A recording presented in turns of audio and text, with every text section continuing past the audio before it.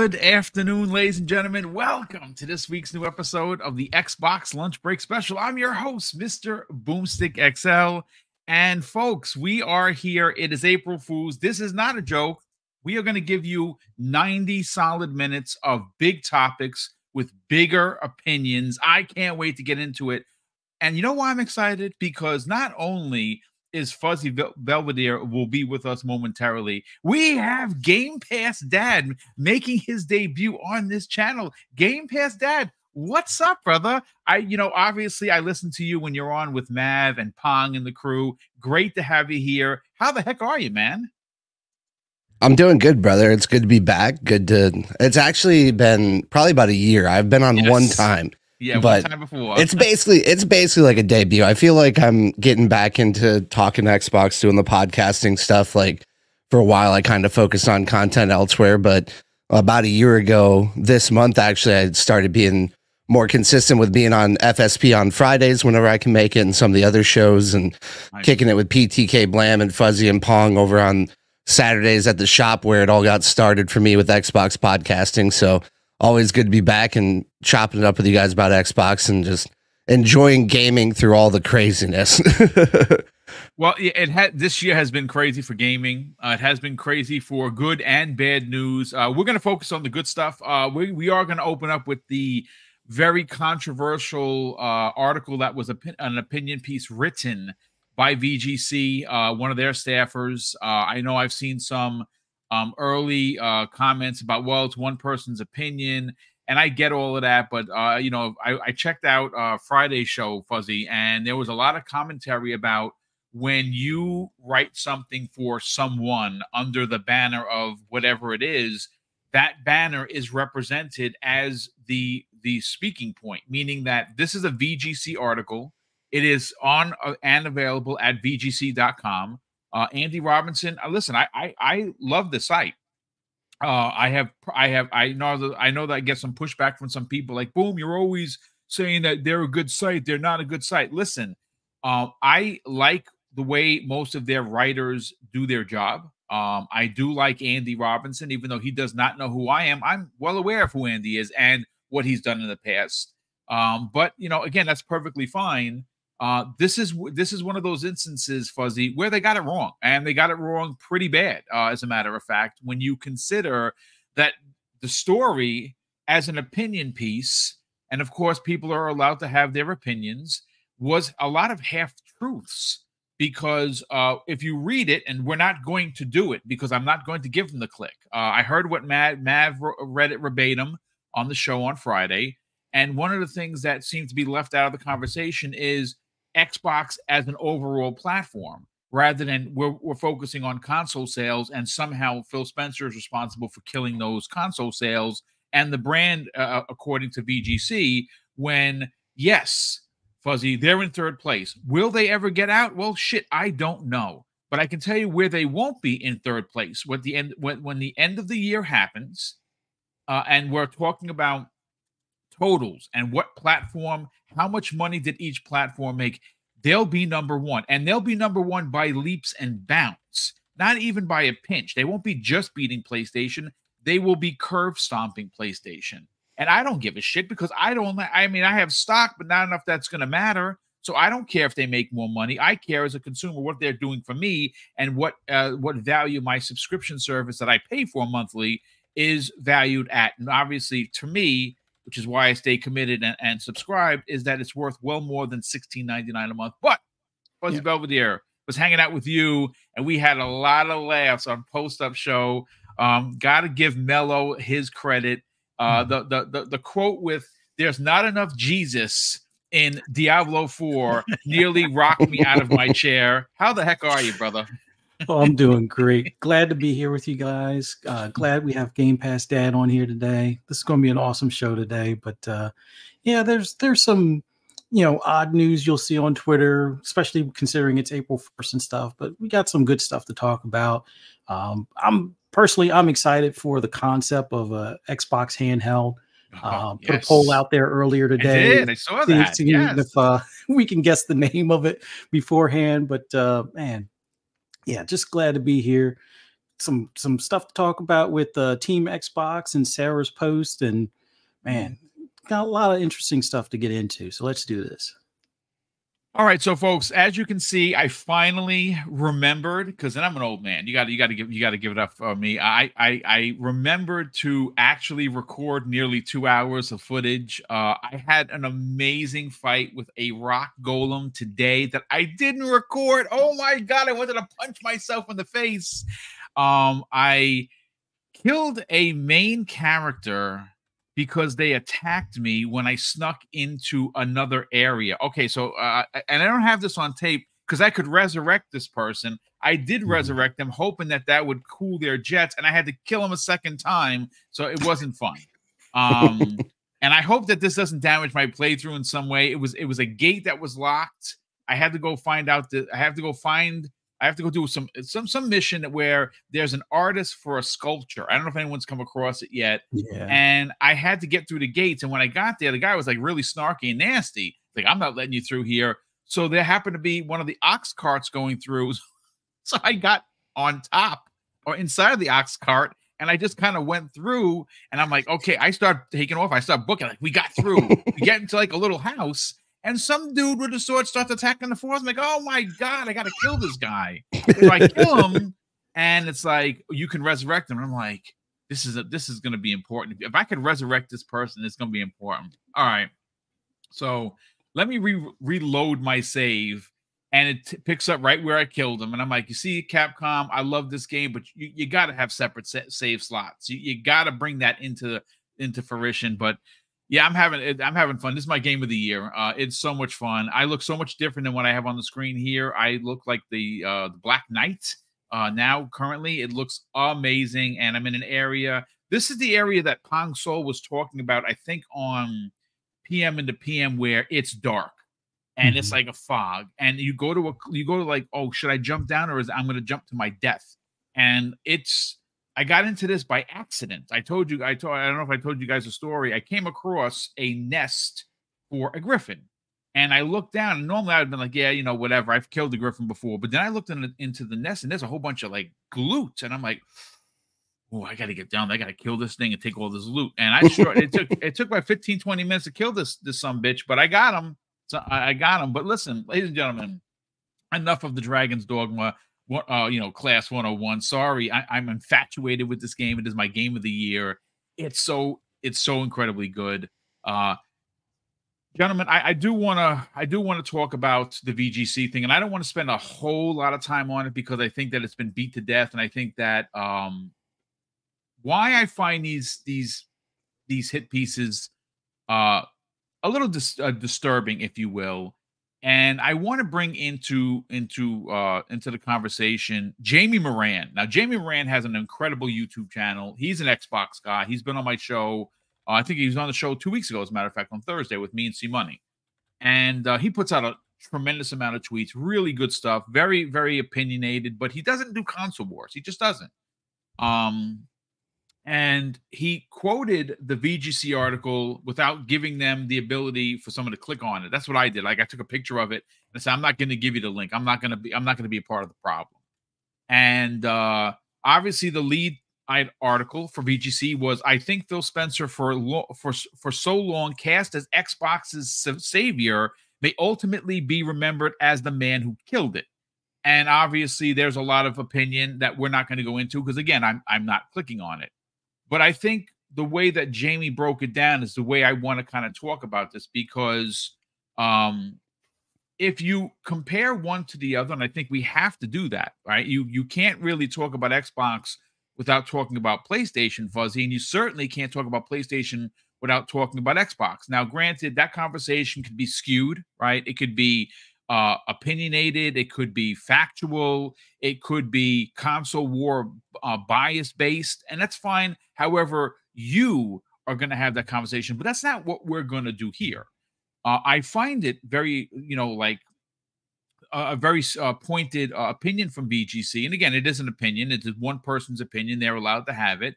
But you are, as Andy Robinson, who is the runner, the, the showrunner, if you will, of VGC, could turn around and say, "Yeah, I don't know so much about this opinion piece because this, you know, this this is not really factual. there are some missing pieces here. And the missing pieces is where they talk about Xbox dying as a console brand when they just spent nearly a hundred billion dollars over the course of two publishers and all the investment in Xbox Game Pass, but somehow, you know, with certain, you know, journalists and outlets, fuzzy, Xbox is dying, right? There's there's there's no hope for Xbox. So this what what Jamie Moran put down was very interesting. And he says, Is this because Xbox recently, and he adds a couple of PlayStation points here, he's being pointed, closed down studios, canceled games, pivoted to GaaS, put out a VR headset that costs more than their console, and and now has abandoned it. Uh, what you just read wasn't Xbox, but no, no. Let's talk about uh, th- about that stuff. And everything that he mentioned has everything that's been done this year for PlayStation. Mm-hmm. And I find it extremely odd that there is this consistent push. I mean, Mav, Mav himself mentioned it on FSP on Friday evening. I watched, I listened to that show today while I was cleaning, and you guys knocked it out of the park. And there is this inherent push to keep Xbox down. Now, yeah. I I will say that yes, they they have stepped on some rakes, and obviously over the right, right before the weekend we had the thing with Hi-Fi Rush with Digital Foundry, where if you stand at this certain part and you wait for the camera to turn 47.3 degrees to the right, you can see that the shadows are better, but the performance is exactly the same, and everybody went ape shit. Uh, yeah. Yes, they do do some things that step on rakes. Obviously, the Pentiment thing comes to mind, but that's been fixed. Obviously, yeah. on PlayStation, it was running at 120 frames. On Xbox 60, there's no excuse for that. Shame on Bethesda, but they fixed it, so it's done. But still, a rake. Yeah. This this this this article is the sentiment of many journalists, not just this particular one for VGC. Let's talk about it, man. Well, I, I think the biggest thing when I when I think of Phil Spencer and I think of like early 2013, 2014 timeframe, I don't think they remember how close Xbox was probably being or to being sold off or yes. closed or or whatnot. So to think that the moves he's made since then or or what's killing it or what will ultimately kill it off is I, wouldn't say ridiculous, but it is on the ridiculous side. It, it, it's silly to me because you know Mattrick did the whole you know oh we got a console for you if you don't like DRM and being online and all that stuff. Which looking back at it, all that stuff we we do on a regular basis and don't even second question it. It's like, oh, TV, TV, TV. How many people actually stream, you know, Netflix or watch YouTube on their console at some point? Now, I'm not saying that that's your primary use for the console, obviously, but it's one of those things that a lot of people enjoy the fact that they can do that. You know, prior to smart TVs being as mm-hmm. prevalent as they are now, it was a good thing to have those apps on there. But all of that aside, let's look at how they went from only having five studios to now having well over 40 studios, having an actual pipeline and roadmap. That's like the biggest thing that I don't understand why people just breeze over it. It's like Xbox actually has a roadmap of games that we can look forward to for at least the next five years. Like they have enough that would have a launch lineup that will rival any console's launch lineup. You know, if they're, you know, if you know all of the predictions are right as far as 2026 being that next gen console yeah they they at least have a, a pretty stout roadmap to kind of pick and choose from of what might be like cross generation games but in any event that next hardware will make the best out of those games regardless um but all of that aside it, it seems like they a lot of the gaming media whether it's because they grew up on PlayStation or they're you know accustomed to playing on PlayStation because they get their free codes there to do reviews and whatnot and their ad dollars or you know kind of funded through anything PlayStation related it, it feels like they've wanted Xbox out of the gaming space for forever kind of thing. It's like, oh, you know, Xbox is dead. And they've been saying that for almost 20 years, and Xbox is a little over 20 years. So it's like, you know, I guess at some point they might be right, maybe in 2047 or something like that. But in the grand scheme of things, it, it just feels like it's the box that they don't like and i don't know if that's bill gates fault you know the the old big bad microsoft of the 80s and 90s or whatever if that cloud is still looming over them and you know the association you know guilt by association kind of thing. It's like, well, well, Microsoft was bad back then, so Xbox has to be bad. So I, I, I don't know if that's what's going on, or if they just see that you know this big conglomerate being the the purse strings behind Xbox is something that you know shakes them to their core type of deal. I mean, they did just clear the Activision deal not too long ago, so I can't imagine clearing the Activision deal and Xbox dying shortly thereafter. Like even in a worst case scenario, let's say you know hardware doesn't move quite the same because of you know this this disjointed you know multi-platform you know going open store platform type of concept uh, not necessarily catching on because you know Microsoft tends to do things earlier than sometimes maybe they should. Even then, I don't think you're going to see a death of a, a, a, platform in that short of a time frame. Like it was more likely that the platform would have died with the the whole DRM thing and how they handled the messaging than anything they've done since. Now, have they, you know, had issues with messaging over the years? Yeah, they've stumbled over a couple of things, tripped over their feet, stubbed their toe a few times here and there, maybe stepped on a rake here and there as well. But in the grand scheme of things, some of the things we're hearing where they're talking about opening up the store to Steam or Epic, giving us access to games that normally would take either years to come to console or might not even come to console at all. That's an interesting concept to have. Yeah, sure, I get the the you know disappointment that some may have with some of the games going to other platforms, but in, in the bigger picture, like, all right, let, let's be real now. Hi-Fi Rush went over there. It didn't do so well. And that was a yeah. test, right? Yep. So think about it. If that was the ultimate test, and all of these PlayStation cats are like, well, we're getting Starfield next. Well, if you didn't buy Hi-Fi Rush, you ain't getting Starfield. Sorry. That that's going to be the end of the test because was it worth their dev time or their port time to put that over there? And you didn't buy it?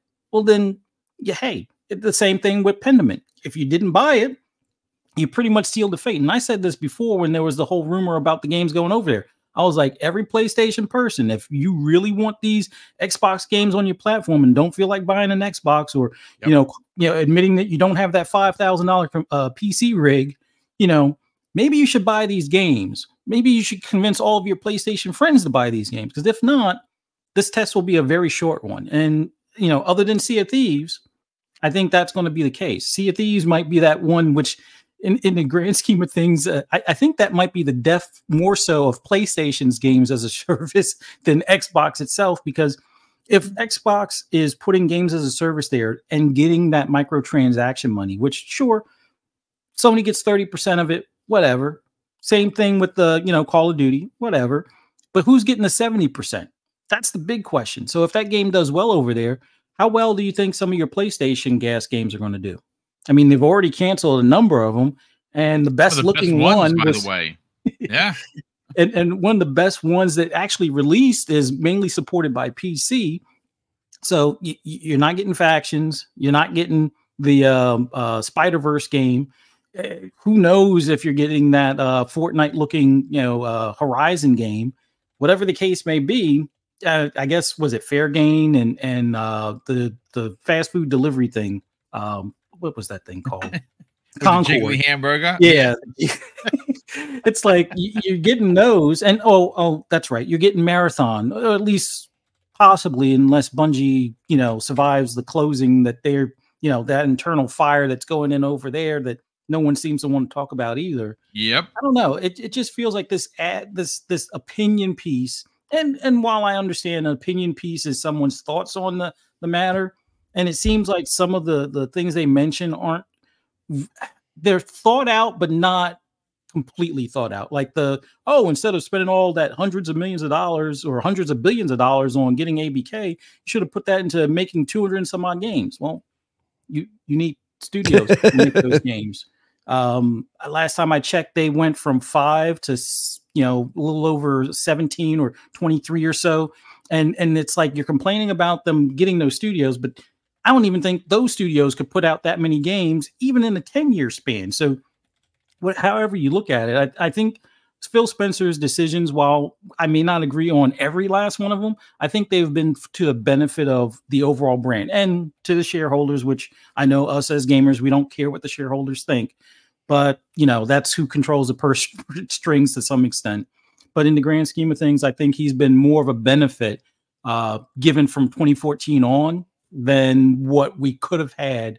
And unless they had better messaging back in 2013, I don't think uh, Xbox would have a better outcome to this day than what it has now. But that's just my two cents on it.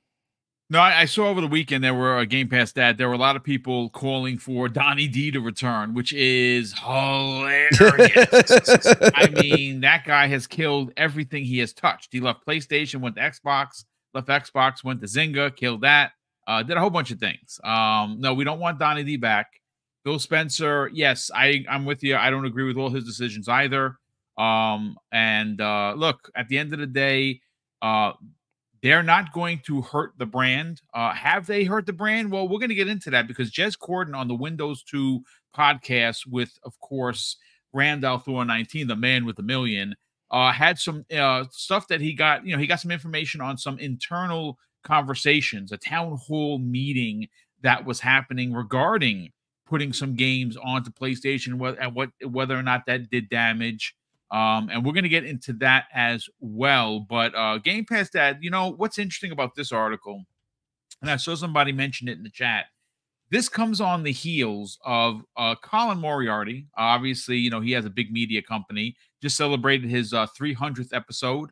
Uh, he, he does run a, a, PlayStation podcast. He's a PlayStation guy, nothing wrong with that.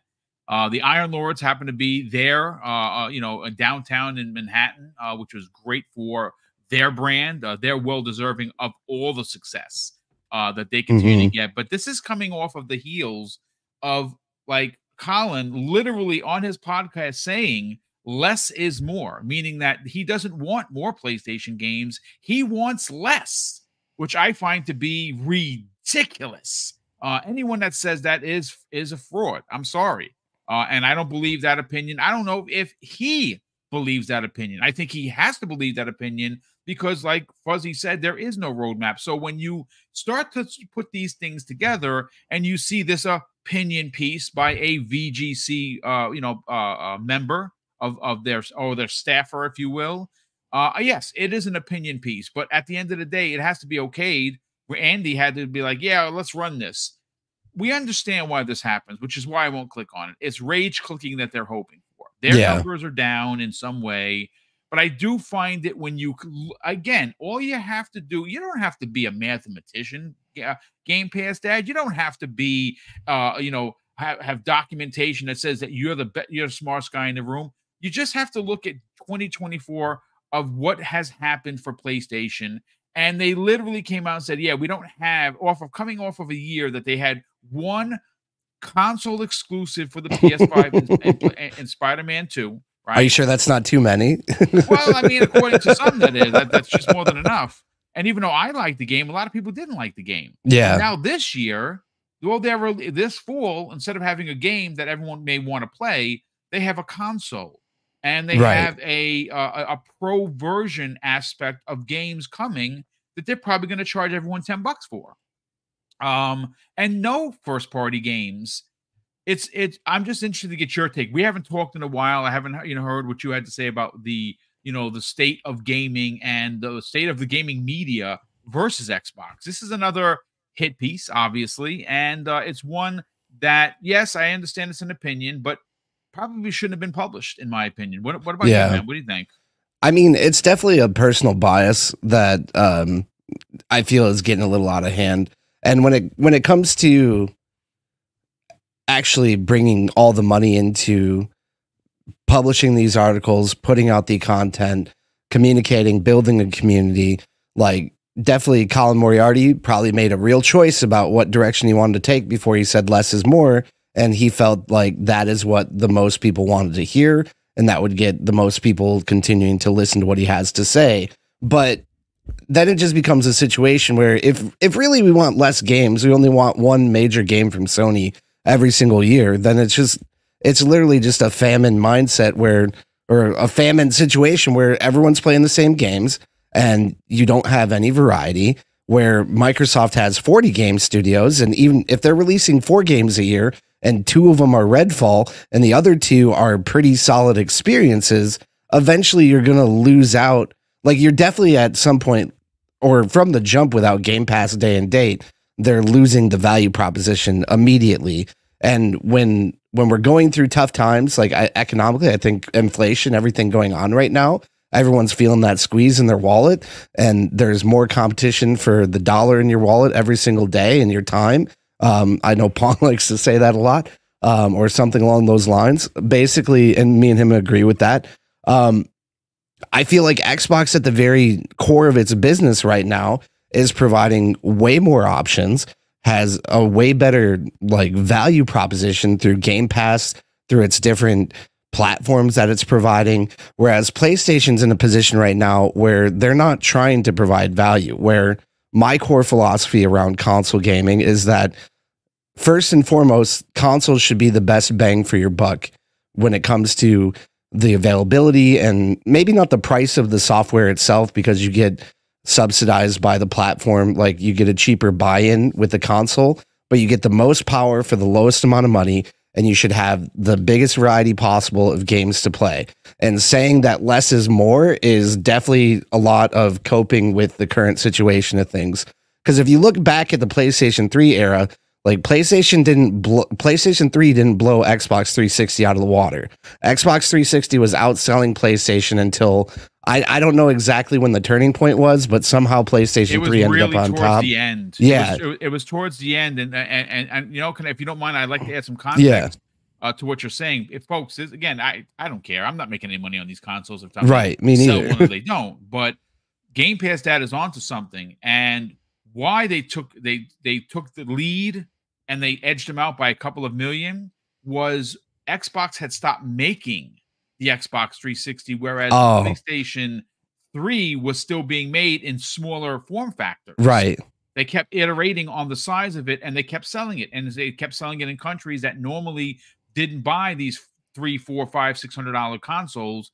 And they kept on selling it when the Xbox 360 stopped. So they eventually, I mean, it's just it's just mathematication, uh, you know, uh, math, simple math, right? They beat them out on the numbers. Right, which like worldwide, but overall, and thank you for adding the context. I appreciate that because I I didn't I I need to go back and make sure I know it when I'm talking about it. But essentially, my point is that leading in from PlayStation Three to PlayStation Four, PlayStation had to win back all that goodwill, and they did because Xbox fumbled hard with the Xbox One generation. We all know yes. it and it w- we were in a tough spot. We were in a point where people who were diehard Xbox fans at the time were probably like less is more. Me personally, I have to admit, like I bought an Xbox One. Like I've always been an Xbox person, but honestly, I was doing other things those times. There wasn't really anything keeping me home playing my games aside from like occasional like Call of Duty or Halo with my friends.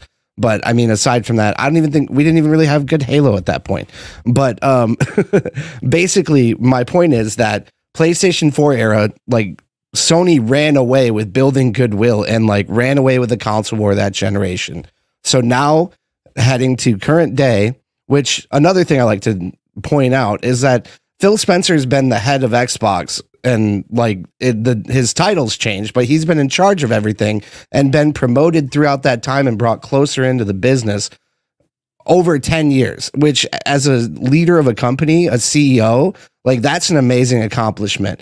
And maybe Jim Ryan would last longer if it wasn't for the 30 years, but it doesn't seem like he retired or it doesn't seem like he retired on his own accord necessarily, but we we can't really speak to that, but basically Jim Ryan came in after all that goodwill and all of the choices that Sony is making, the reason why they were the last to adopt crossplay, the reason why they're the first ones to raise prices, the reason why they're bringing us products like the PlayStation Portal and like PSVR 2 that the market, well, I don't know what the sales numbers are on the Portal. People seem to like the Portal, but if that's all they the only handheld option they have, I can see why people buy it, but it's still at a premium.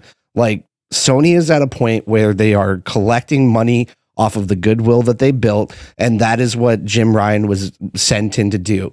But the problem is that gamers obviously must not be buying into it as much or the it's costing too much to build these games and the market isn't responding to the point where the games are as profitable as they want them to be.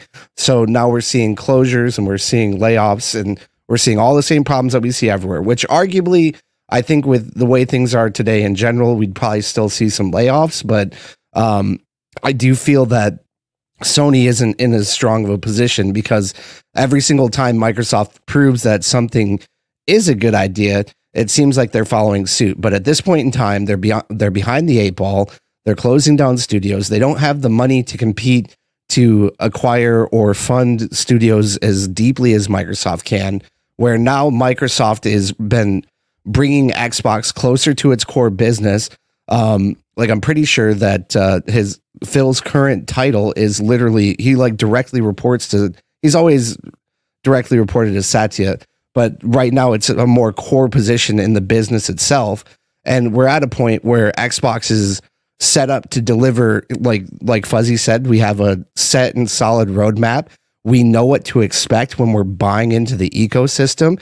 And at this point in time, like as far as for the next five to 10 years, there's no way Xbox is ever going to be as in a difficult position as it was at the beginning of the last generation.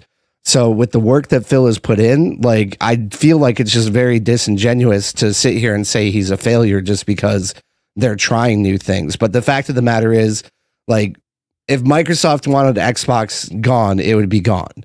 Right. At the same time, if Microsoft wants to put a console in your living room, they're going to do everything they can to try and convince you. And we're we're lucky that at this point in time that their strategy has been to provide that value proposition or at least I feel like they understand it more, or at least Phil does, because Phil, first and foremost, and at one, no point in time in that hit piece did they ever acknowledge the fact that Phil is a gamer. And you look at like the other articles or the other interviews that came out where he's talking about like potential handhelds and things like that. And he's coming at it from a gamer's perspective. He says, What would I want as a gamer? And that's he's thinking about the same things that we think about. Yes. Yep. And that's the difference between like a Phil Spencer and a Jim Ryan. Jim Ryan is there to collect all the gold and go fill Sony's bank vault so they can Scrooge McDuck with our hard earned money all day long. Whereas like Phil Spencer also is there to get your hard earned money, but he's there to do it while providing entertainment and value and expand upon the platform that we have. And at this point in time, I feel like Microsoft is kind of following Nintendo's lead at this point because Nintendo like another point I made Friday was like, look at Nintendo between 2012 and 2017. You remember the Wii U generation? There was like 13 billion Wii U sold. They were like Nintendo was on the most on the ropes that we've seen in the last like decade, decade and a half. Like, but they literally innovated, they pivoted, they they they relied on what they're good at and right now their software might be not as good as what it could possibly be, but their hardware is on point and they're doing just fine. So it proves that these things aren't irredeemable if you can find the nerve of the market and what they might be looking for. And I feel like everything that's happening, yes, people are angry about the the cross platform. We're going to get into that, I believe you said um, a little bit more, but I feel like at least the things that Microsoft is doing, like Game Pass the reason why I'm Game Pass dad is Game Pass allowed me to try games that I n- couldn't necessarily afford to buy every single game because I I got burned so many times on pre-ordering games and like the la- like beginning of the like during the Xbox One era let's just say. Like I stopped pre-ordering games and it reduced the amount of games I would try because I didn't have any rental services. I didn't have any other ways to try games. So it's like I would wait until they came out or I just wouldn't play games. And then when Game Pass came out, I was able to try new games again. I was able to play all the games I would probably buy anyway for my Xbox. And literally, it's changed the way I played games and it's made me enjoy gaming more because of the value that it provides. So I feel like the fact that PlayStation PlayStation's obviously struggling and less definitely isn't more. I much prefer having a roadmap and it helps me it helps me sleep well at night knowing that there's a direction that we're going in. I mean, good. Every, I mean, what, what what a way to start off the show. Uh, we have a total of seven, nearly 700 live viewers. We have, and again, I can, I can, now that I, the stats are available, we have 550 people watching on on uh on YouTube and 100 nearly 150 people watching on uh, Twitter, which is pretty cool. Uh, I do send it today. I never had these stats in front of me. Well, now I do. So now I can say that we have nearly 700 live viewers. And of course, if you are finding the channel for the first time, I would greatly appreciate you consider subscribing. Uh, it would be awesome to see some new subscribers. We do have some super chats and some new channel members that we have to get to before we get to the next topic. But again, great way to start it off, Game Pass Dad and Fuzzy, with uh, you know talking about an article that did take the community by storm. Uh, there were a lot of big opinions on it. Uh, some I agreed with, some I didn't agree with, and I definitely did not agree with this take. Uh, and again, yes, it is opinion based. I don't think it should have been published for the sake of it wasn't true. It's an opinion, but it's an opinion piece that's skewed, and there are a lot of a lot of important factors that are left out. So it's one sided based on, you know, there are an inherent bias towards the platform, and I'm actually surprised that Andy Robinson, who uh, again runs VGC, would allow for this to hit print because I think that is it's rubbish. Uh, and again, I know someone in the chat. I don't want to mention names because you know we don't want anyone to get picked on, but I do value free, freedom of speech, fella. Uh, I was in the United States Navy and I was a New York City police officer where I went back to my old neighborhood and policed that 21 years. So freedom of speech super important for me. Uh, I don't know what you where, where where what point you were trying to make, but yeah, this was a bullshit. Pardon my French. Opinion piece uh, to rage click everyone, and VGC is w- supposed to be better than that. They really are. Andy Robinson runs a really good site. I like what they do over here they definitely got knocked down a couple of levels for me because this is uh, uh, clickbaitery at its absolute finest, uh, and it's gross. And uh, I don't think it should even it shouldn't even been printed personally.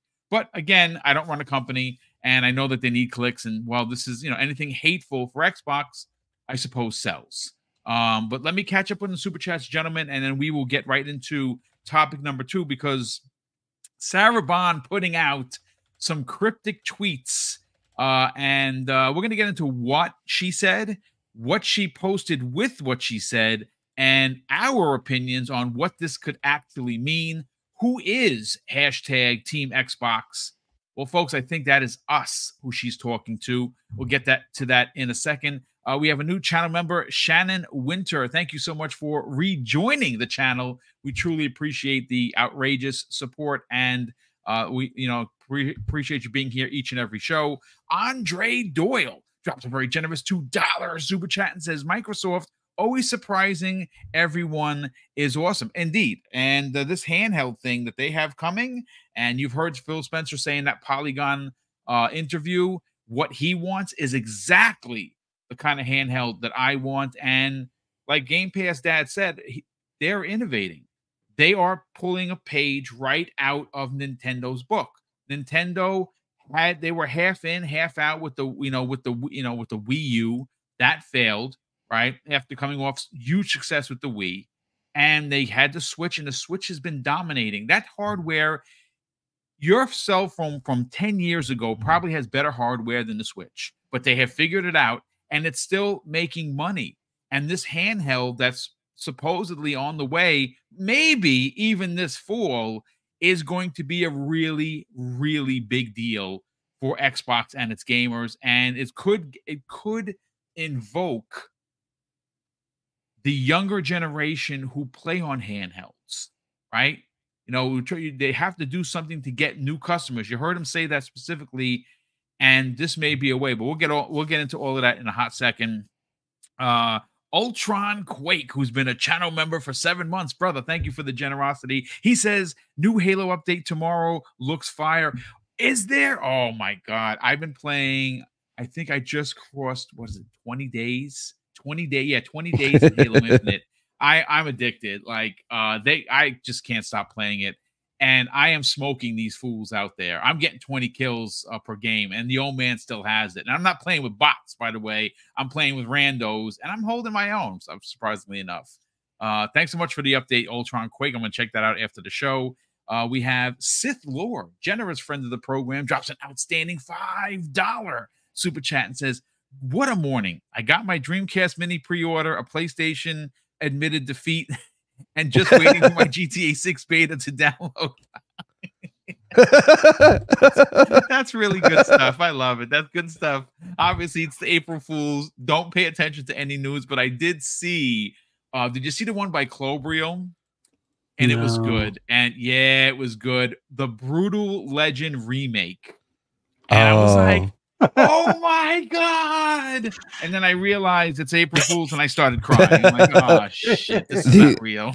the only one that I saw uh, was uh, on Instagram because I took a nap after I dropped my daughter off at school. Um, was Helldivers. I don't know if it was the community themselves or a, a meme page, but it was saying that they're going to add democracy dollars to, to Oh, the to the dude, that game is- and like all, all kinds of overhaul just to point out how much they don't do that. It was really funny.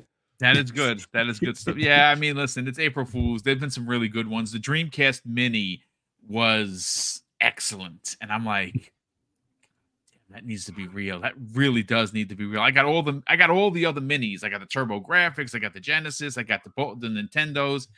Uh, we we need a GameCube Mini, uh, and we also need because that would be kind of dope, and we definitely need a Dreamcast Mini for sure.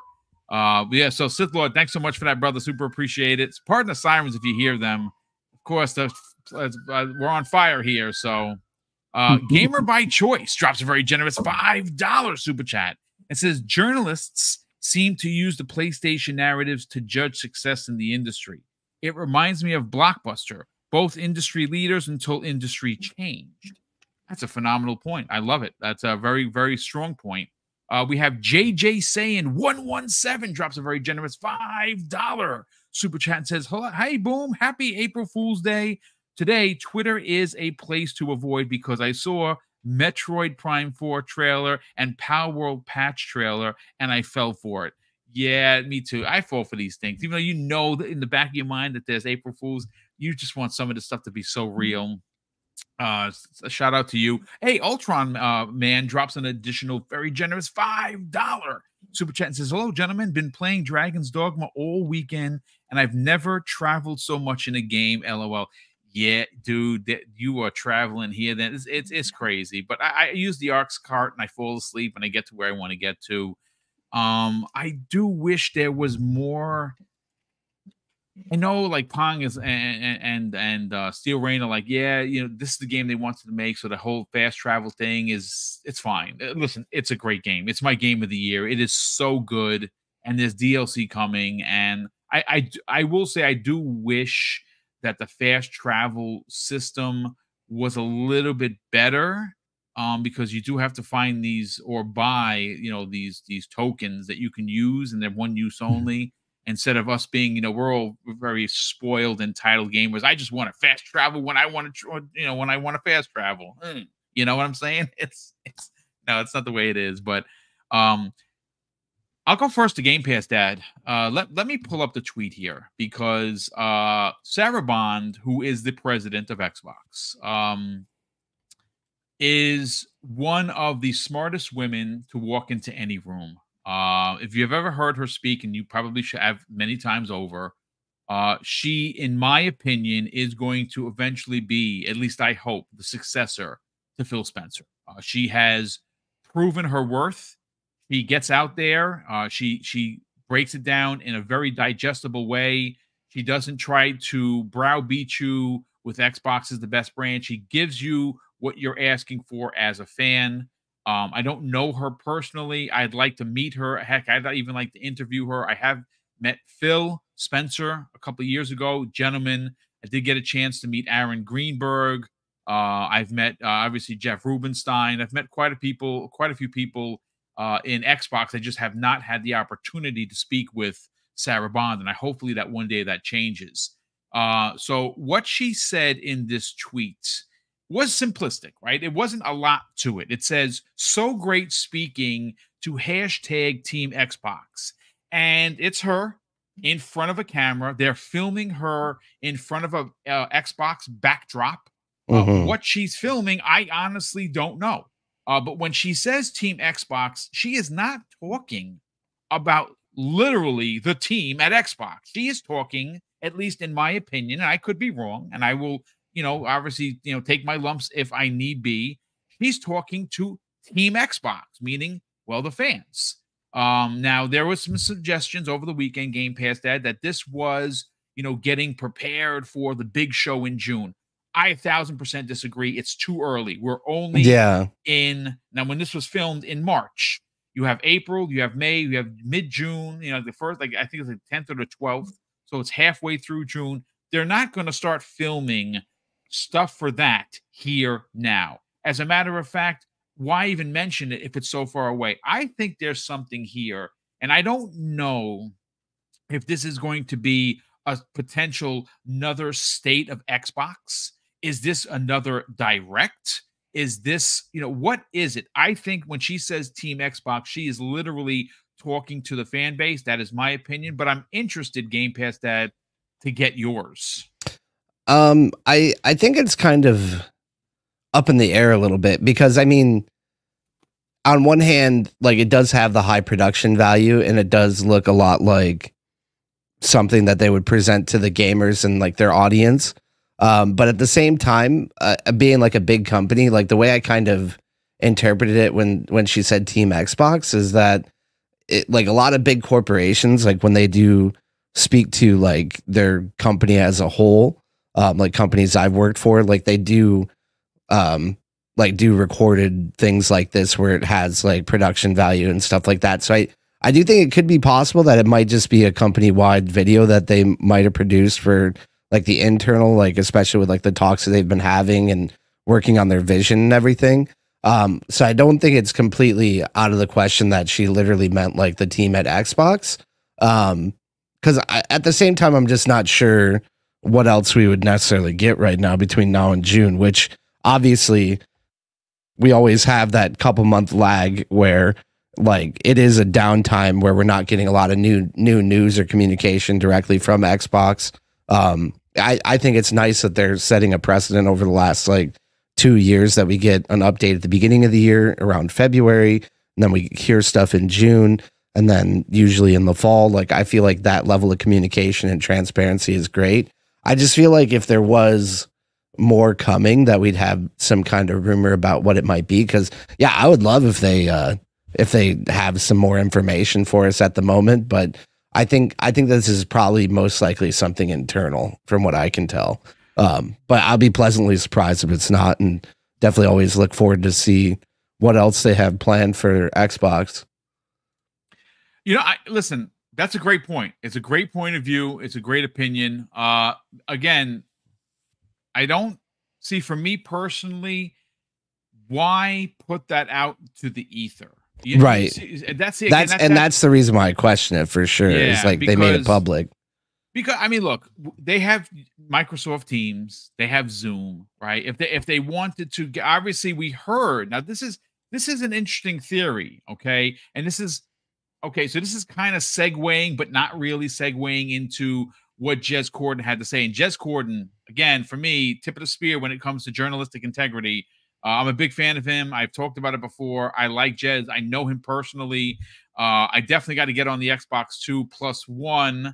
If you guys are listening, hello, like uh, you know that would help. It would it would help the channel. But I would like to hang out with those two guys. I love Rand and Jez. As a matter of fact, I've been uh, talked to him over the weekend. Uh, next week, one of the shows we're trying to figure out what best suits his schedule. So we're going to get Jez Corden of Windows Central back on as well.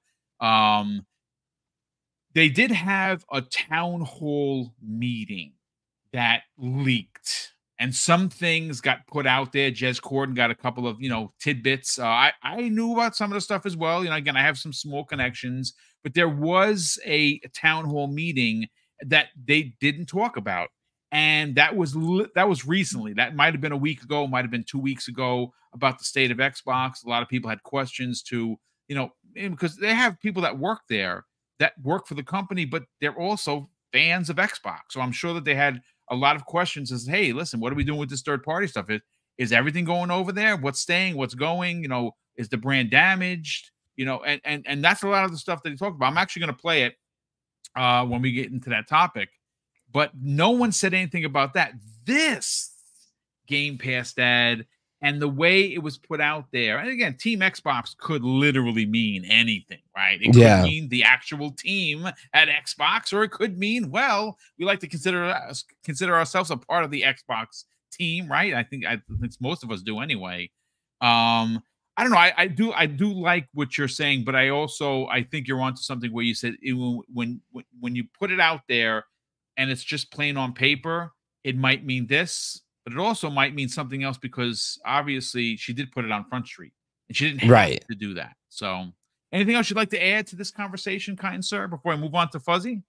No, I think I think I, I don't have any more speculation to add, but I mean maybe maybe they're dropping the the handheld like it's hot before we know it. No, maybe maybe we're buying PlayStation finally. Who knows? Like it's it's all up from here. yeah, well, I mean, I, I- you know, I could, I could, I agree with you on the handheld thing. What if they Yeah, show just- it off in June and they have it ready to go? Because if if you remember during that business update, Game Pass Dad, Sarah Bond Yeah. specifically did say we have new hardware to share this fall. That's true. And I I do feel like there's possibility of that. Like part of me like as far as the handheld's concerned, which I feel like sorry to throw the curveball in there with the, my No, joke, but I, I love curveball. No, no, listen, brother, this is this is a, this is a conversational uh, podcast. Uh, right, I know. Yeah. Uh, First of all, Um, shout out to real quick Sanchez MTZ Gaming, brother. You want a twenty five dollar gift card? You got to reach out to me. Either you know, email me through the business email that's uh, uh, that's at the about page on YouTube. DM me or at least message me. And I need two things from you. I need obviously what platform of choice you want your gift card to Xbox, PlayStation, or Nintendo and I need a mailing address so you can get these two very limited, very special edition coins that were created uh, by uh, Ben Kenobi of of Twitter Frame. And uh, yeah, there's only a handful of these coins. One is a Diablo 4 and one is a Call of Duty uh, coins, and they are very limited. And you did win a pair of those. So reach out to me one way or another. But please continue, But Game Pass Dad. Yeah, as far as the handheld announcement goes, I'm I'm kind of on the fence as to how soon we might get it, which obviously I I do feel like it could be a good option for mid-gen refresh or how exactly they go about it, whether it's like a hybrid dockable system or possible like next generation like series as console. Like as as much as I feel like it would be an amazing thing if Microsoft has it ready to go in the next the, either at the end of this year or next year, I feel like it could slot perfectly into that time slot. I, I do feel like so, part of me does feel that at least this generation, it might be that Xbox is allowing um, like the the development partners like Asus and MSI to take the lead on like the handheld PCs until they could really get it dialed in. So I part of me wants to say um, we might not see it until the next generation or a little bit closer to it. Um, but I do feel that if we were like it is very possible that we could get that kind of announcement because Microsoft has constantly had different versions of different consoles and different form factors in the works and they they have a deep deep talent pool that could be assigned to working on any any different thing at any given time. So um I wouldn't completely rule out like any sort of handheld announcement either mid mid year this year or the end of this year. Um at least at least for an announcement like that it seems plausible. And personally i've been really diving down the rabbit hole of trying to figure out what the perfect handheld would be for me because um like i have my console. I love my console. I do a majority of my gaming on pc and like ultimately i have gotten to a point where just through content creation and like how i use my computer and how i game like that's just work what works the best for me. And that's why like when we talk about opening up the ecosystem and when games are going to other platforms i'm not as concerned as other people. I definitely respect like everyone's opinions and like the stress that I can put on the brand but that's why to me like a, a handheld device that can bridge the gap between the pc and also be docked on my entertainment system here um, could definitely be a very viable buy for me. Um, but I would really like it to be a more open ecosystem, which it makes me happy that Phil's talking about those sorts of things of either bringing like like allowing other stores on their platform, kind of like they already are on Windows, where basically Microsoft has you like get you to their ecosystem and starting to use their products just by having the operating operating system and selling you the operating system.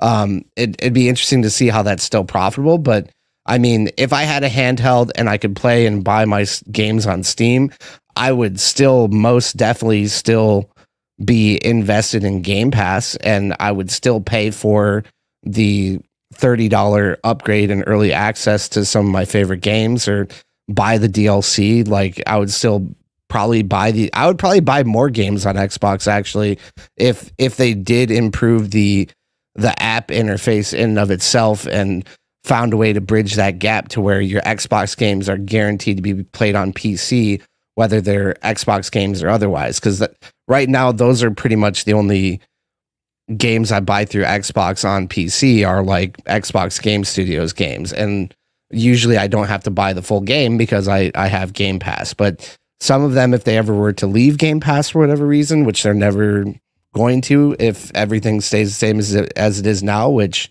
I don't see any reason why it, it ever would.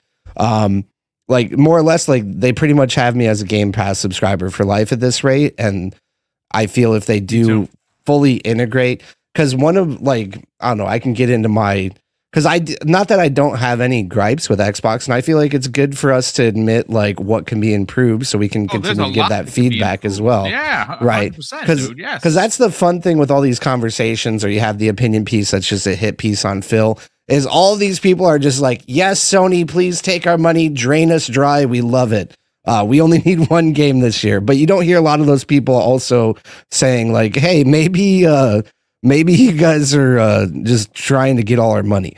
Um, which both be, both sides are trying to get your money, but I feel like one side is providing more value.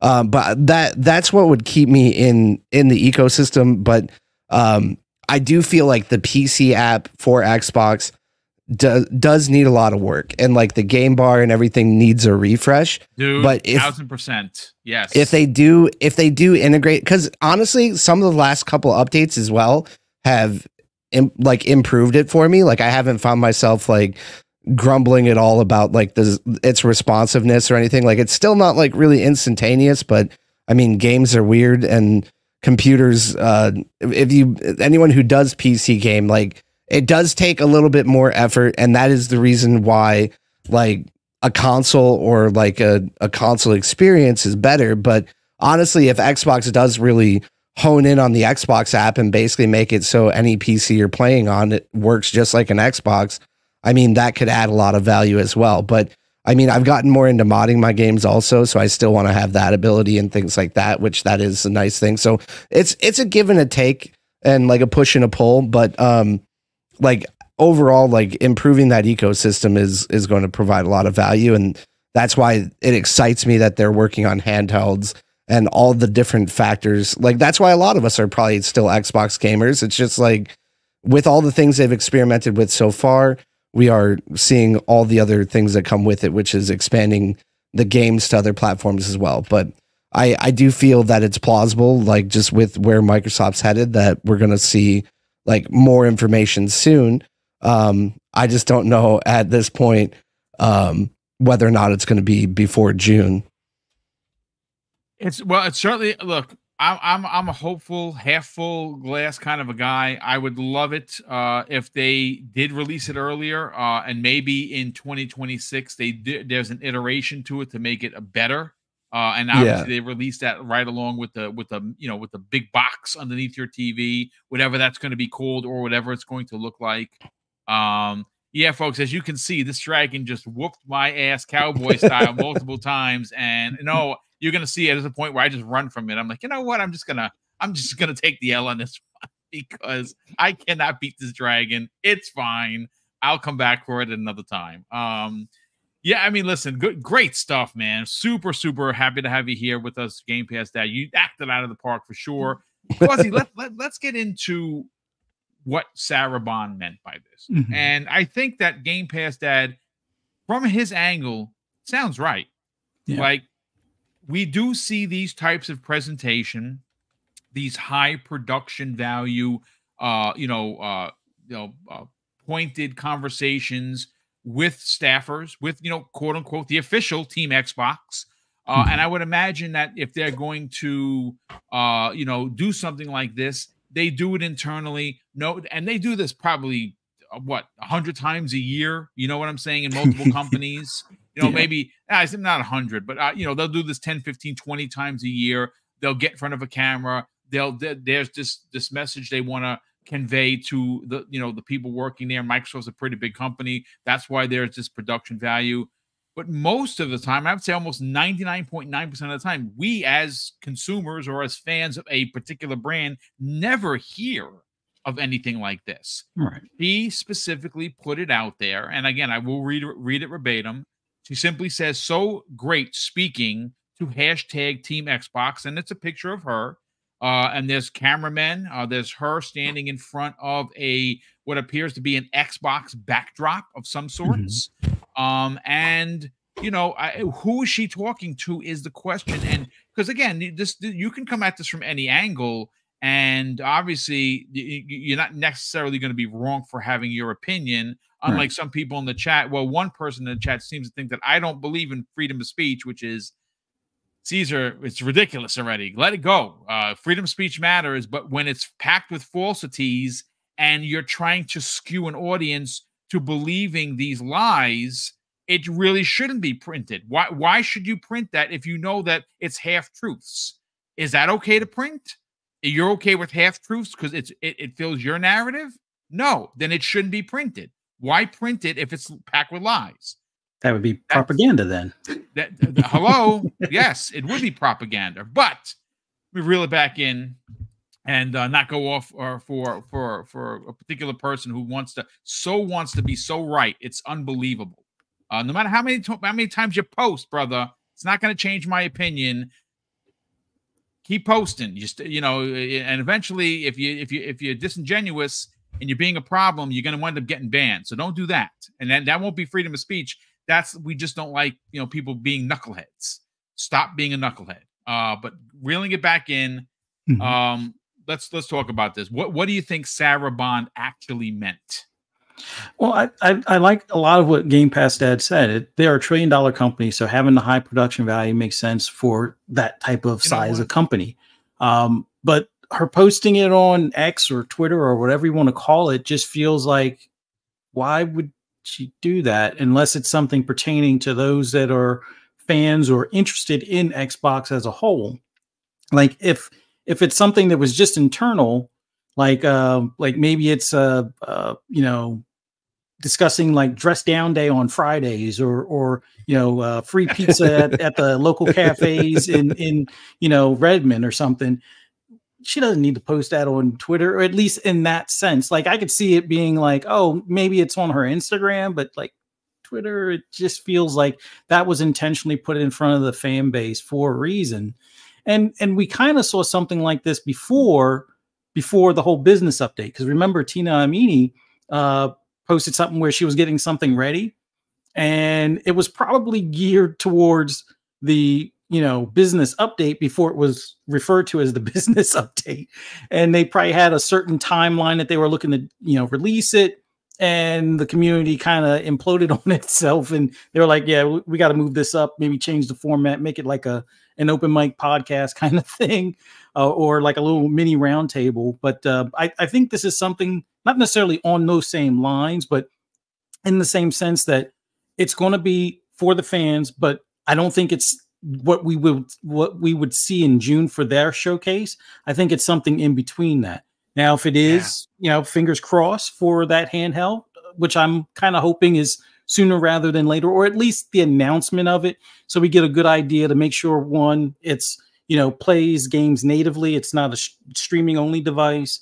Um, you know, maybe they talk about the pricing, so that way you know, we, we kind of get that, you know, in mind. So we could either set aside money or know that, hey, this is a day one buy or might have to wait for a holiday sale kind of thing. Um, and, and things along those lines where you kind of give them a little bit of a heads up. Like we had a whole year and, and probably a year and a half heads up for the Scorpio before it came out, like them talking about the Xbox One X before it was actually released. So I could see a similar thing with a handheld and where it fits between like maybe a Series X and Series S. Is it like identical to a Series S but portable, or is it kind of in between the Series S and the Series X? Is it geared to be closer to a Series X but portable?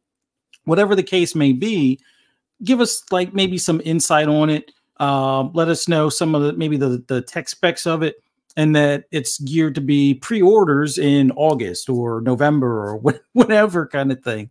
Um, I'm hoping it's something along those lines, unless unless it's some of their partnered I guess you would say second party deals that they've made. Like uh, maybe it's an update on Contraband.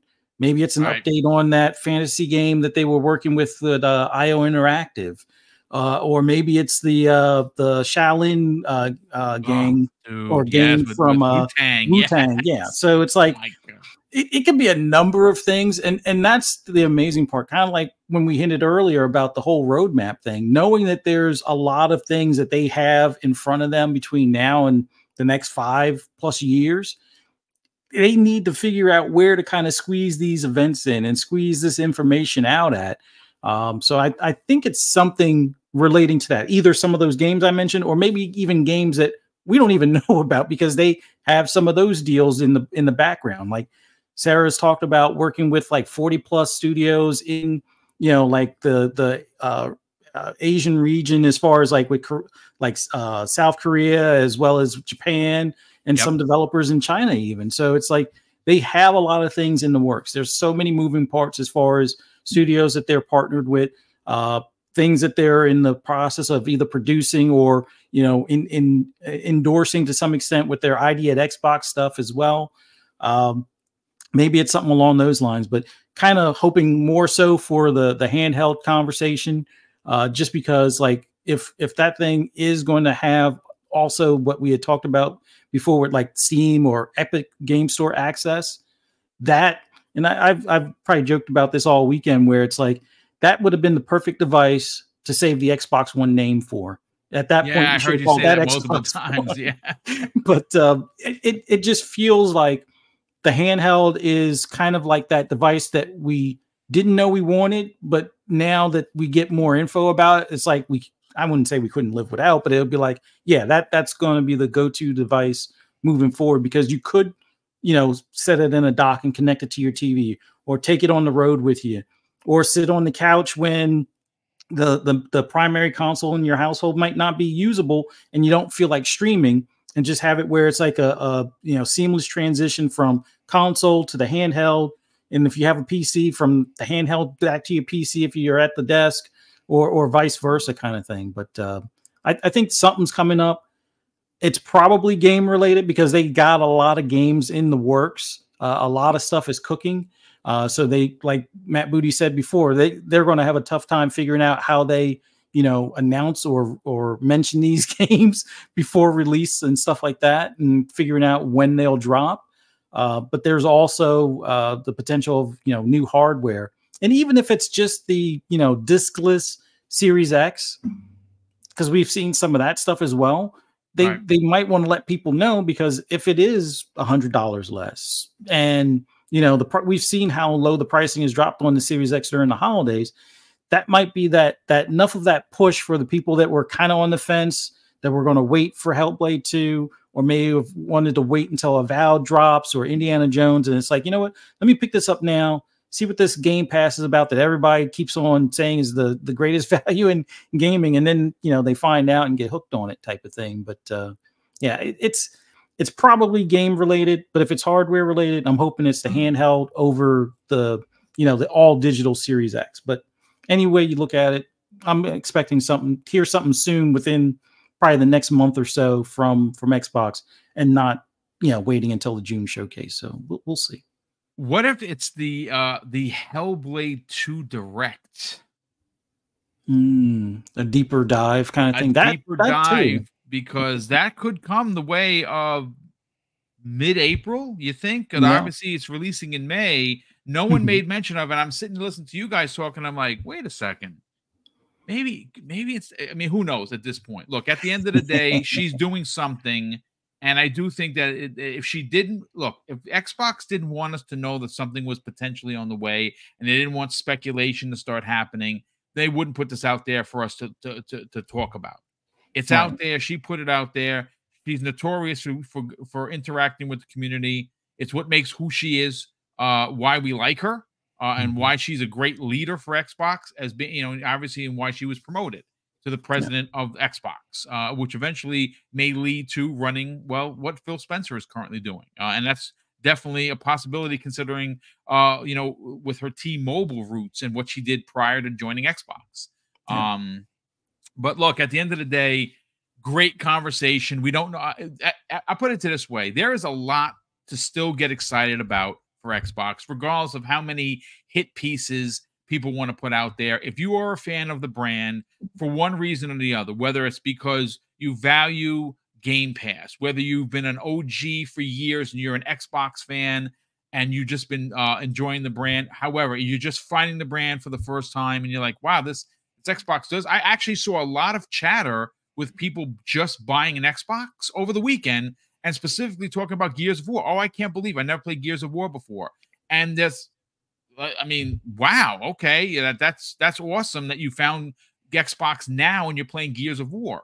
Uh, hopefully, you know, obviously this fall, and you know, may, maybe we'll get more information in June that we do get the rumored Phoenix Marcus Phoenix collection, which would be dope, like a done real, you know, redone in Unreal Engine 5. That would be another phenomenal title added to the already ridiculous list of games coming out this year. Um, but real quick, uh, Gray Fox drops a very generous five pound super chat, and he says, Hello, boom. Did you see any improvements with Dragon's Dogma after today's patch? Greetings from uh, uh from Amsterdam. Oh, wow, dude, from the Netherlands. Thank you so much, man. That is awesome that you're checking out the show all the way from the other side of the world. That is so cool. Welcome, brother. Uh, Xbox marketing in Europe in Europe sucks, by the way. Yeah, they they their marketing is just terrible. I I don't I don't even know. I have not gotten the call, folks. No one has called poor Boom uh, for that for that six figure job at, at Microsoft, which I guarantee you, if I get a marketing job there, you're going to find marketing everywhere. But they're not calling this old bastard, so it's fine. It's fine. Uh, Asante, generous friend of the program who's been a channel member for 23 months, says freedom of speech has limits. You can't scream fire in a building. And as a news publication, you can't publish lies and claim uh, freedom of speech. There you go. Well said. I probably should have said that from the beginning and, and not tolerated the, the shenanigans. Uh, General Spartan 27, who's been a channel member for 11 months. Dude, thank you so much for the outstanding support. He says this if Microsoft has their handheld and next gen consoles have games for every Xbox generation plus, Steam, Epic Game Store, they would have a massive library with Game Pass. Yeah, I listen, that's happening. Uh, Phil Spencer saying it isn't just Phil Spencer, eh, you know, I'm just gonna go out there and just name drop Epic Game Store or or um or Steam. They're working with them right now. That is happening. That is going to be a reality on your next console.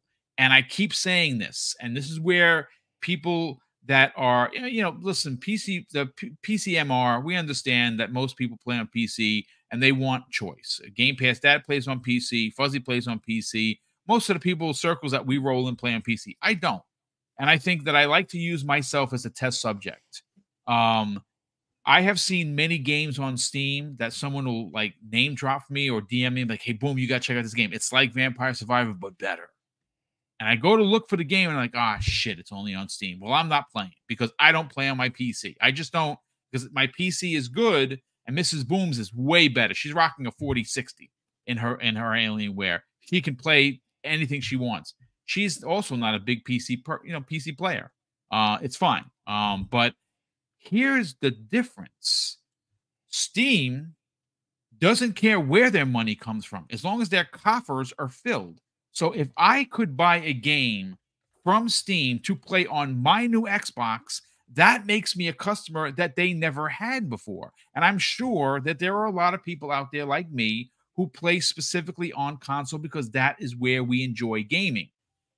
That is new customers. You think Gabe Newell is going to care where the money is coming from? No, he is absolutely not going to care. So, again, I just use myself as a test subject, but I do want to move on to the final topic. And we're going to spend about 15 or 20 minutes and we get, get everyone out of here because, again, this is one of the, the shorter shows of the week. Uh, Jez Corden out there, you know, making the rounds, you know, uh, you know, uh, and uh, again, what, whether what, what you what your opinion on Jez is, well, my opinion is a very high one. I like Jez Corden a lot. He knows that. Uh, on and we, uh, all right. So before we even get into what Jez Corden had to say, I want to give credit where credit is due.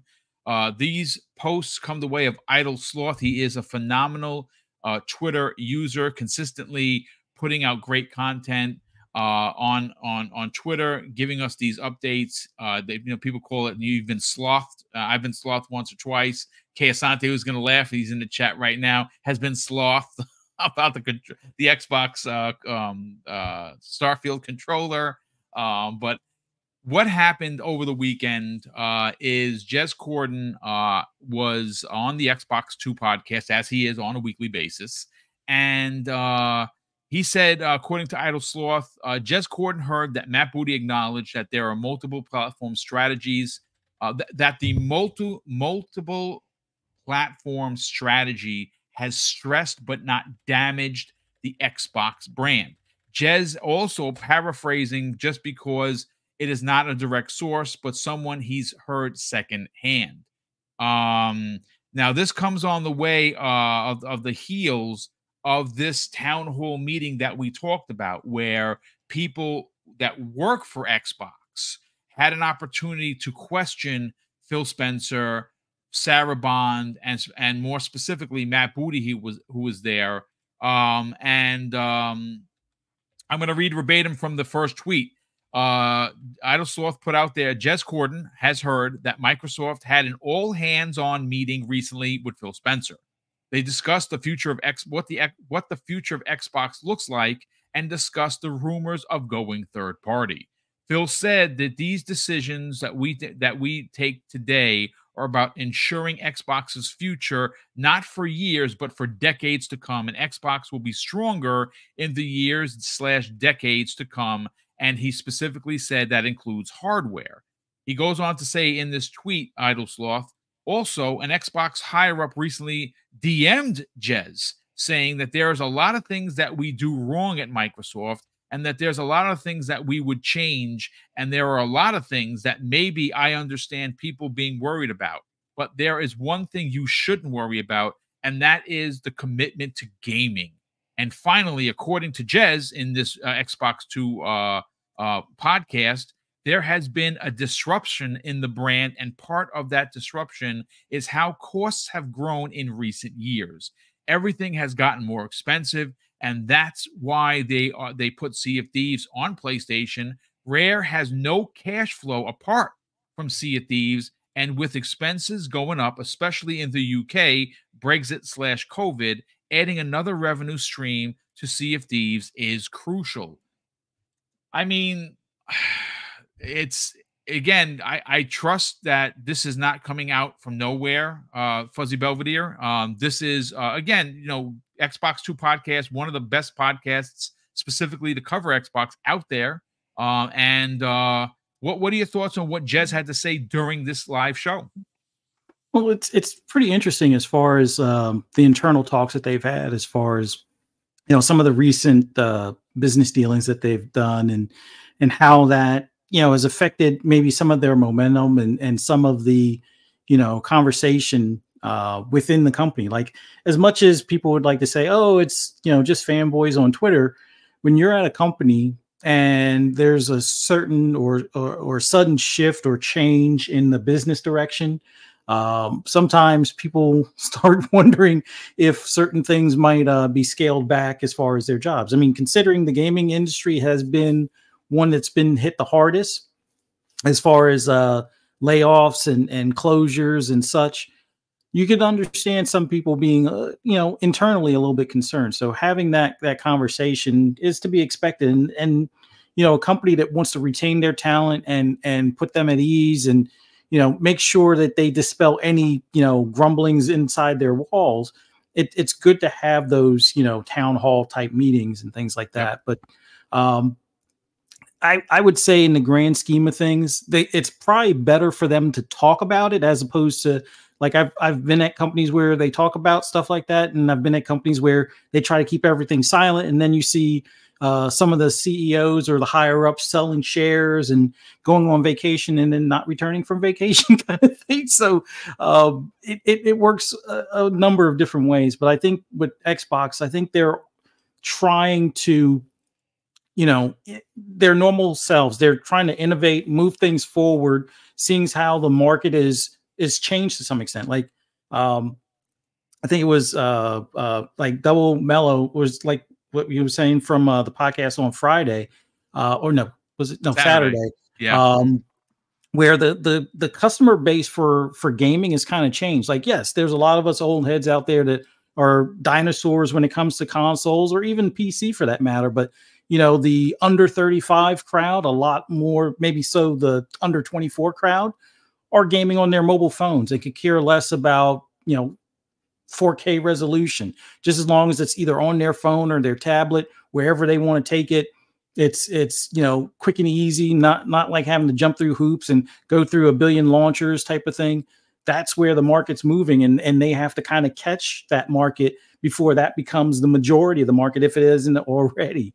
So it's it's all understandable. I, I like that Jez kind of, you know, at least he gets multiple, you know, inbound sources as far as confirming, okay, not just one person saying that this is happening inside, because you could always catch that disgruntled employee and they can blow things out of proportion or from their perspective the, the sky is falling but if you have like a number of employees saying yeah there was a meeting it's not really public knowledge but some of the stuff that was talked about was this this and this and and bringing it to light is to be expected but i i, I think overall xbox in general uh, moving forward is poised to still be relevant 10 years 20 years from now um, as far as uh, hardware, we know that hardware is still in the works. As far as games, there's still a ton of games in the pipeline. Um, but I guess the big thing now is getting everything in front of the customer base, you know, growing the business, finding new customers, and how to find those new customers without completely pissing off your current customers yes. at the same time. And that's that's yep. probably the hardest balance for any company out there.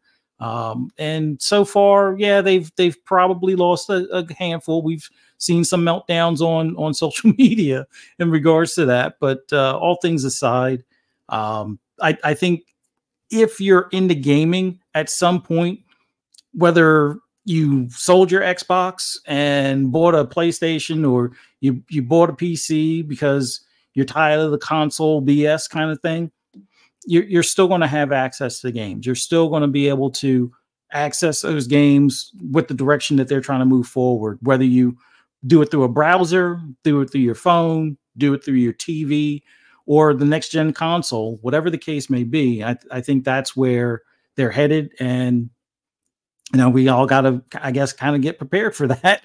And, and some of the benefits that come along with that, with more of an open store, like the stuff we talked about earlier with Steam and, and you know Epic and stuff. So I, I, I think they're in a good spot now. It's it's good that they are at least acknowledging some of the stuff that you know maybe the rake or two that they stepped on in the process though.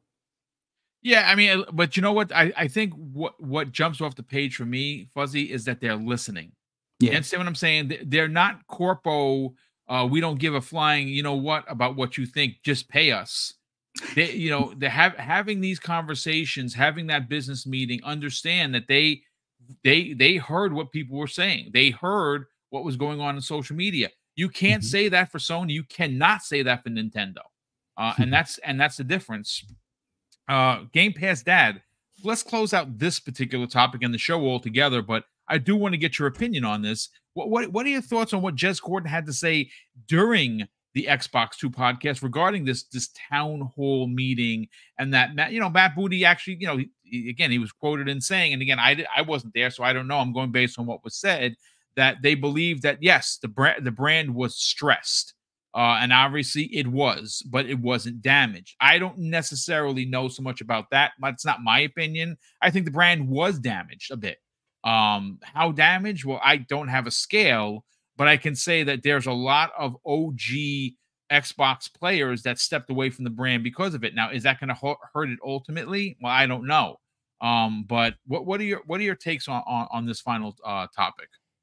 Yeah, I I mean, I feel like the the stress to the brand is probably a lot in line with like what we those of us who pay attention to Twitter um and what's going on in that space, like all the things that happen, like I mean, for me, like that, like I mean, I ended up making a video about all the craziness because it was so kind of disturbing to me, like how we got to that point. Um, and I can understand completely um, for those who, and I, I try hard to make sure that when I am speaking strongly about these things, that I do understand where people are coming from. Like we are investing our money in these platforms in hopes that we will always retain ownership of our games. Like we're trusting Microsoft to go down a digital path. Therefore, we don't have to have the little trinket taking up space on our shelf uh, to make sure that we continue to have ownership and control, which over time with technology, like that has been something that we've had to kind of accept. And the reason why Game Pass is like a modern option for gaming is it kind of takes out a lot of the the need to put that level of investment in. Um, but I think that's the major part, and that's where like someone like yourself, I'm sure, would say it's damaged. Um, I feel like for some people, like it it is a direction that is completely like unforgivable, and they those people have chosen to decide how they want to approach the platform or whether or not they want to make content around the platform or where they want to play their games or whether they want to decide to evolve and stop investing in Xbox and buy a PC. But ultimately, I do feel that though there's stress, like I feel like it is stress on the brand because again, like like I've said before, the things we talked about before even today, um, the the gaming industry is moving in a different direction. Like I don't think Microsoft would be making these decisions if they felt that they could continue to be profitable or make money and be relevant in a business just by creating gaming consoles. Because I mean, honestly, the thing that it makes me think about when we have these conversations is like, think about where gaming consoles came from, like the dedicated box that you keep underneath your TV in order to play games. Because at the time, like back in the 80s, like back in the 70s, like computers weren't the type of thing that you could just keep on your desk. Like even in like the Nintendo 64 era, I remember reading a like article about like the devices that they like the dev kits for the N64 were literally like double size like PC towers the size of like a Pac-Man machine like that costs like tens of thousands of dollars just for a dev kit where now it's like PCs are getting to a point where it is more expensive than a console in a lot of cases to have like a high powered PC. But even for something that'll play games the same as your console can play, the prices there are at a point where they're very comparable. And not only that, but I feel like during the age of like the iPhone coming out, we saw a point in time where consumers were carrying around like their cell phone, their music player, and their GPS, like every other device was separate, but yep. it is natural for technology to consolidate and move forward. And consoles existed at a time where we didn't have easily affordable personal computers, let alone very powerful personal computers in all of our pockets.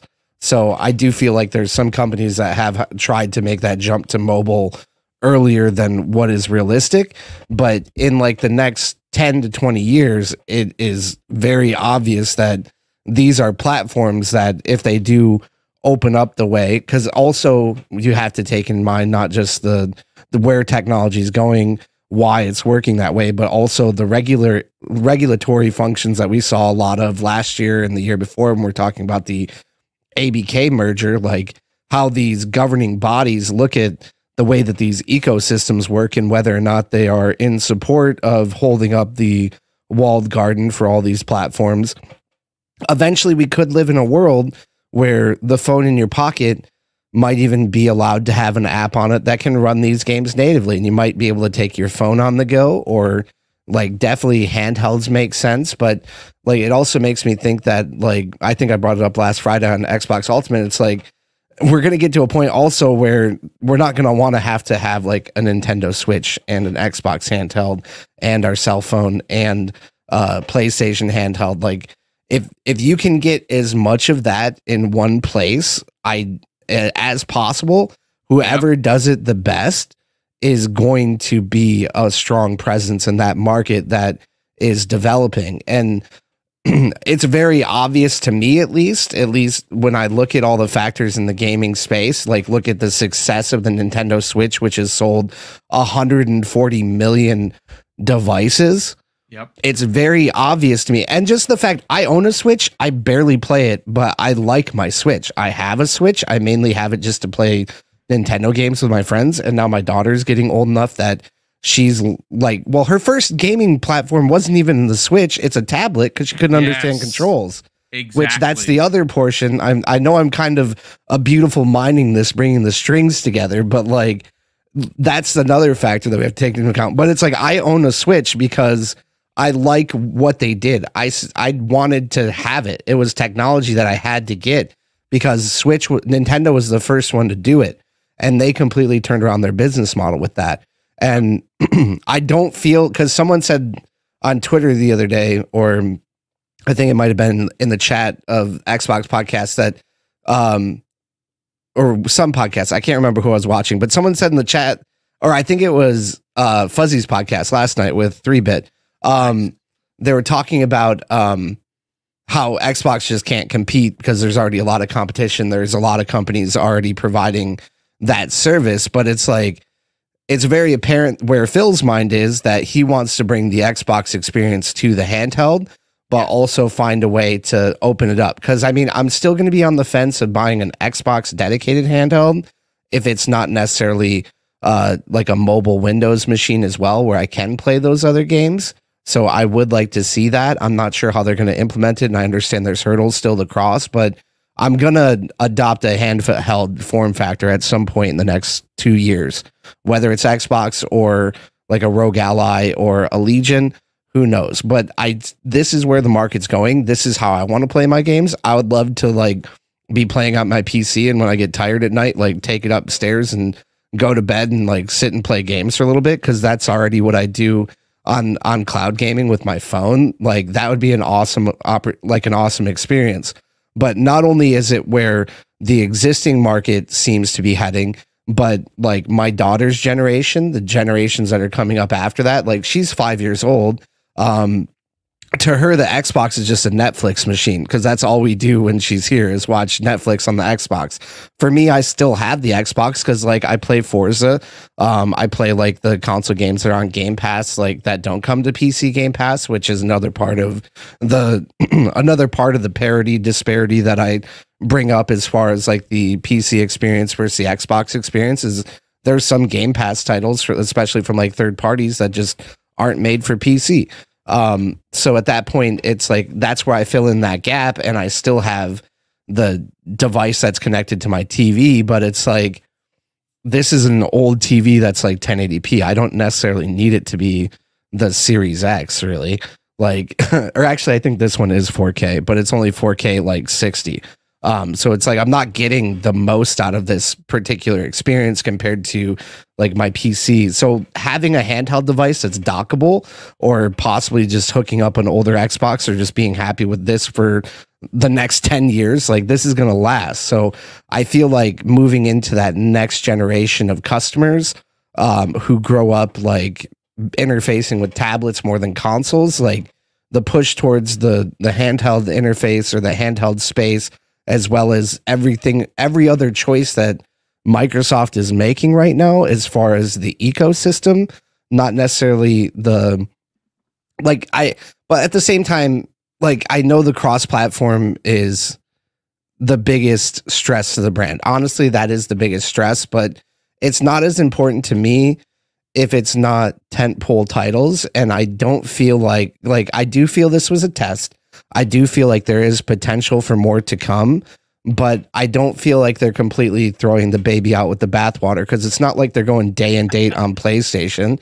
Like this this is a possibility of like cuz think about it. Like you get PlayStation gamers like once we have Call of Duty in Game Pass and PlayStation gamers are like I'm buying Call of Duty every single every single year or I'm buying all these games and I I see these Xbox games on my PlayStation that are good experiences. I had to pay sixty dollars for this one, forty dollars for this one, seventy dollars for this one, whatever it is.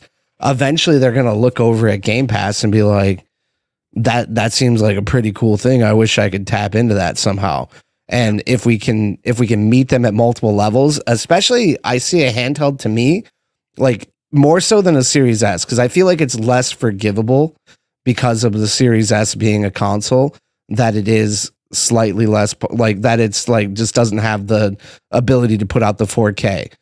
But and but essentially like I feel like that's why it's dogs so much. But if it's like a handheld form factor that you can take with you and I know Fuzzy has said it before, a similar power level uh, to the Series S or or whatever the S profile will be for like the next generation. Like no one can really dog that if you have a full console in your pocket that is completely synergistically and intrinsically part of the Xbox experience and ecosystem. Yep. I see something like that because for me, like the PlayStation Portal was a, a letdown because if PlayStation Portal could play native games, I would yes. really consider buying one, and that could very much immediately. get yes. me into their ecosystem. Yes. So when I, because I look at it from like, what do I like as a gamer? Same way as why I appreciate how Phil looks at things as a gamer. Like I don't just see PlayStation go PlayStation bad.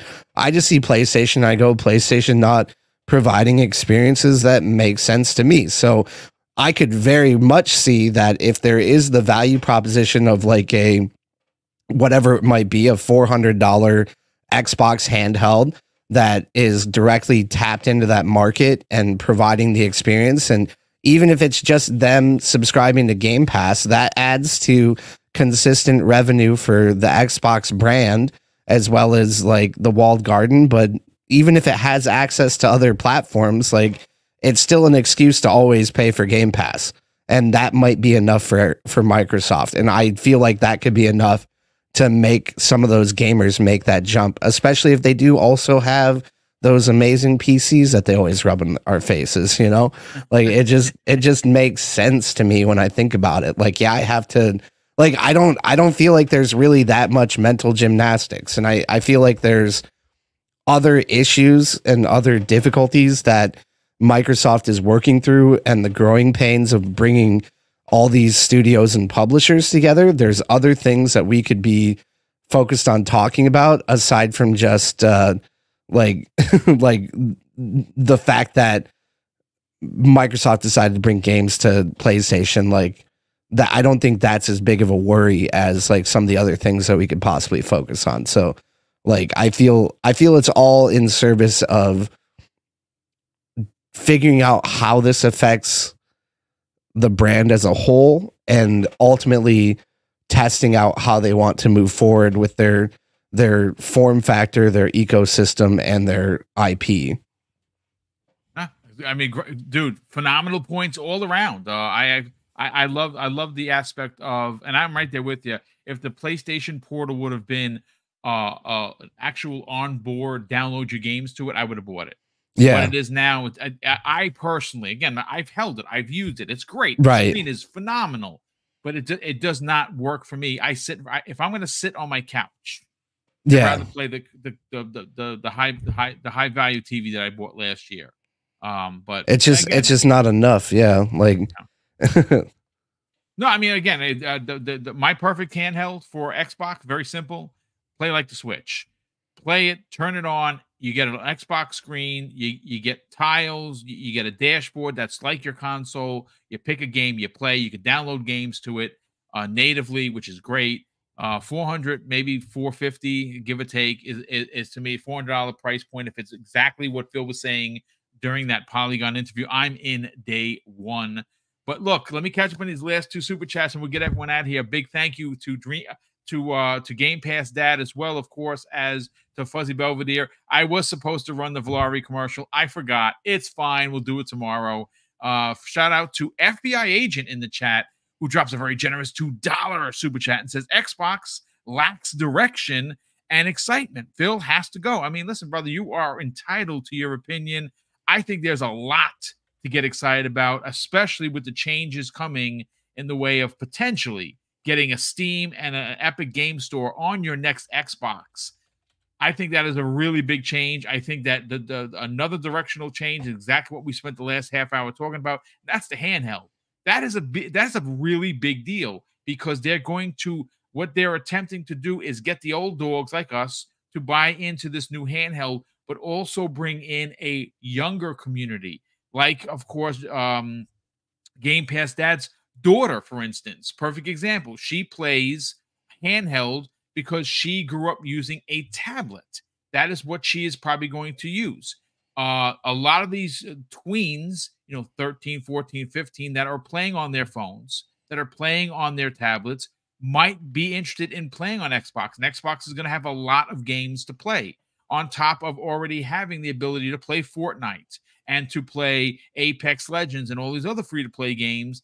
You can now play Halo. You can play all these other games. They may get tap into uh, an audience that never had an Xbox, but they now might because of a portable. It's it's it's all uh all very, again for me it's very exciting but brother thank you so much for the generosity appreciate you being here uh lastly jj saying 117 drops a very generous additional two dollar super chat and says did the lawsuit against apple brought uh brought bring this up i i i'm not sure dude honestly um it's i'll put it to this way Microsoft is helping Epic Games in that lawsuit, and I think they're they've already had uh, an established uh, thing with Gabe Newell and Steam.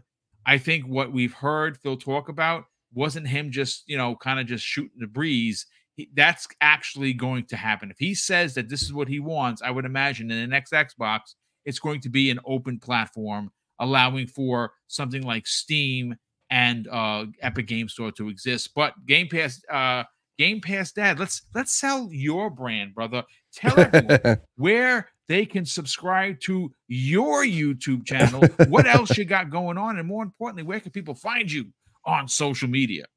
Yeah, boom! Big thanks to you and everyone here at Double Barrel Gaming in the chat, hanging out. Uh, for welcoming in and listening to all my uh, crazy theories and ideas. um, I am a stand up comedian and I stream on Twitch Wednesdays and weekends. That's under Game Pass Dad. But I have been, like I said, working hard on uh, bringing more of my opinions about Xbox and gaming back to YouTube here, which is ultimately what I what I started my content journey with. So it's been a lot of fun doing more podcasting. So if you guys enjoy anything that I have to say or uh, any of my sense of humor, things like that, uh, go ahead and follow me on YouTube.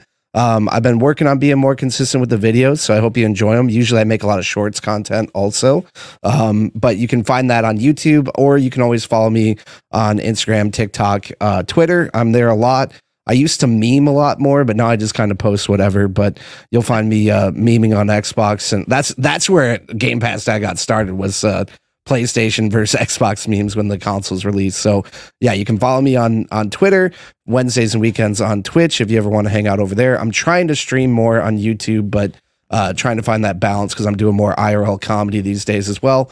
Um, but usually on Fridays, you can also find me on the Fun Speculation podcast, uh, keeping Fuzzy in line because he gets too crazy sometimes. but um, but I make my rounds. But usually Fridays is my my landing place when I'm not busy. So thanks again for having me. I really appreciate it. Oh, thank you for joining us, brother. Super appreciate that. And Fuzzy Belvedere, let's sell your brand, kind sir. Tell everyone where they can subscribe to the best place for anything and everything in the racing genre, as well as what else you got going on. And more importantly, where can people follow you on social media? Oh, as always, thank you for having me on Boom. And it was awesome having Game Pass Dad on here today as well always love being on podcasts with them, whether it's on the shop or even Xbox Ultimate. Always a crack up as far as and and not just a crack up as far as you know the the side comments, but like I like his perspective as far as he he takes more of a a like a, a well thought out look between PC and console and yep. and just the games and the enjoyment in general. So if you haven't already, definitely follow his content. Uh, you know, follow him on Twitter or Instagram. Definitely, uh, you know, check what he has to say on on social media. Uh, and for those that want to hear my rambles and rants on anything gaming related, just follow me on the app, formerly known as Twitter at fuzzy underscore Belvedere. You can also find me on Fun Speculations channel later on tonight for FSP at 10 p.m. Eastern Standard Time. And then everybody in the chat, hope to see you guys here Friday morning at 10 for Breakfast with Boom right here on this channel. Hope to see you then. Thank you so much. And ladies and gentlemen, that is going to do it for this week's new episode of the Xbox Lunch Break Special. I'm your host, Mr. Boomstick XL.